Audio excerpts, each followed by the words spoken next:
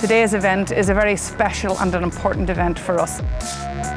It's where we showcase our final year fashion design technology students to our industry partners, their families and staff.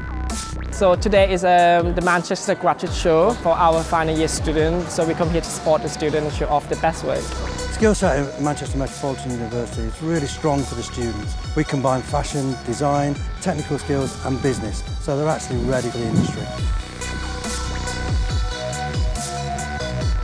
The curriculum allows for them to understand the whole process from design and research right through to marketing promoting themselves, which also makes them very employable.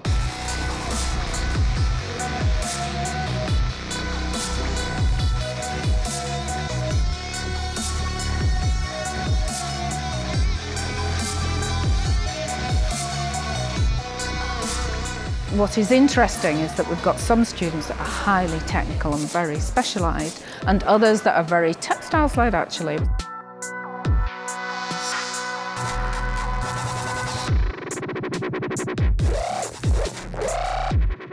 Well, Manchester is becoming a cultural and hub which is very significant in terms of fashion.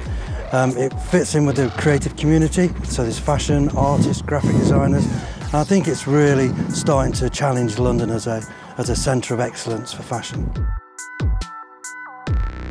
You want your garments to look so unique that it's not been done before because that's what's going to turn heads, that's what's going to make you really stand out. So a lot of that for me is to do with fabrics. You want fabrics that are going to really make a statement.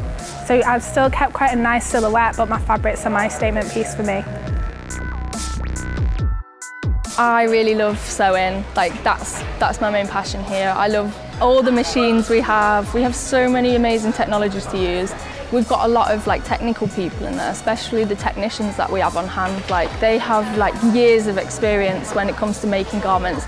And if we're ever struggling, we always have that hand just there to help. I think the show symbolises the end of a year of really hard work. The students put so much into all of this and it's really lovely to show off their collections on the catwalk with all their friends and family um, watching. That's, that's the main thing really, the celebration.